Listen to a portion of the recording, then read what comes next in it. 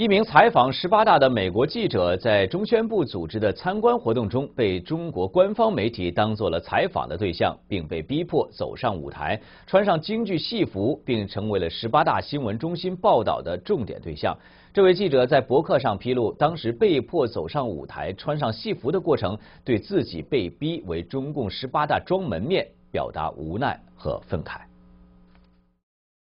中共十八大召开前，中宣部安排境外媒体记者参观北京以及周边地区的文化，并在中共喉舌媒体上高调报道，说境外媒体记者近距离感受中国发展变化等，并把美国《洛杉矶时报》记者朱丽叶·麦克林身穿京剧戏服的画面作为亮点。麦克林撰文披露了自己是如何成为中共宣传材料的经过。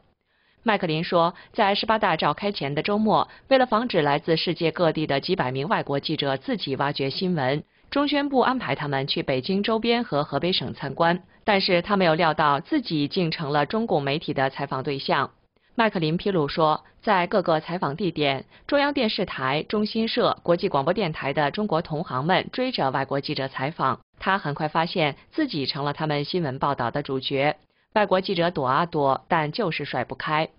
麦克林介绍，在河北霸州的李少春大剧院，记者们先被安排观看了所谓“没有共产党就没有新中国”的合唱，然后去看京剧。部分记者被邀请上台表演，他拒绝三次，还是被推上台。他说：“我知道，一旦上台，中国记者们将得到他们最需要的镜头和照片。”记者们起哄，非要我上去。我明白了，这会儿即使我冲出门，也会被他们拖回来。我被穿上京剧戏装，中国记者们很兴奋，一片闪光灯，他们得到了想要的宣传材料。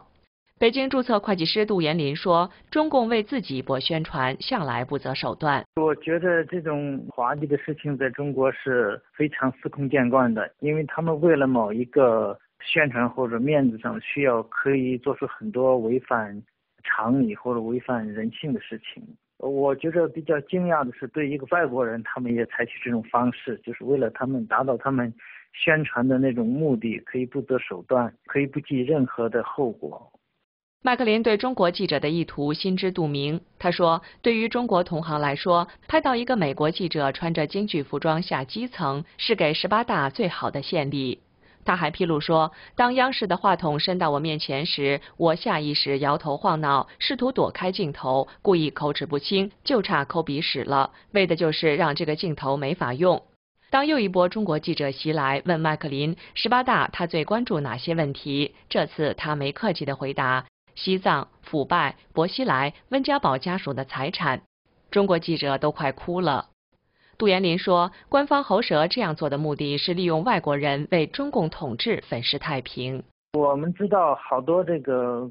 御用的文人，或者说官方经常说我们一些民主人士是挟洋自重，呃，这个词我觉得用在他们身上也挺恰当，因为他们觉着，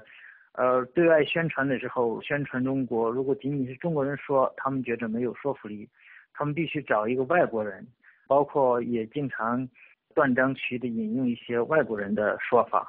对中国的现实进行粉饰太平，进行涂脂抹粉。第二天，麦克林的英国朋友给他发了刊登着他穿戏服照片的新闻链接，说他成了十八大的官方白人面孔。麦克林无奈地说：“我成了宣传工具的一部分，糗死了。”有网友说，十几年没有看新闻联播了，还在做这样的掩耳盗铃的所谓新闻，很搞笑。一位香港居民说，新闻里一片盛世和谐、万国来朝的景象，可惜经不起推敲啊。